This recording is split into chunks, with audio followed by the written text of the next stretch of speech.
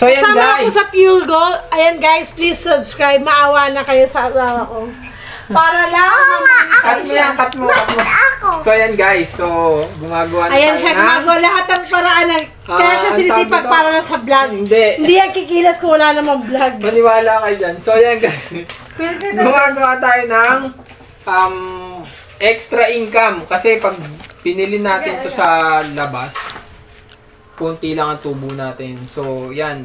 Ang ginagawa natin, titingi-tingiin natin. Uy, 50 Para- yan dong.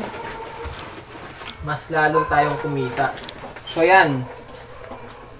50 pesos daw ang kilo nung flour. So, ibibenta natin yun ng, ng 7 ang isa.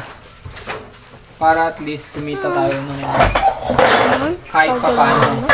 Sunod, ito. Ito namang, ang tawag nito, asin. Yan.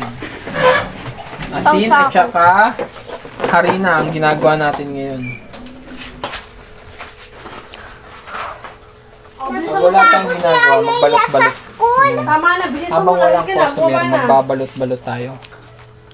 Para at least ah, may, may ginagawa tayo. At mabawas-bawasan yung mga ano natin, yung mga displayin. Katulad nito, matagal to. So habang walang customer, ubusin na natin para pagkatapos i-display na lang natin. So yun guys, thank you for watching. Ano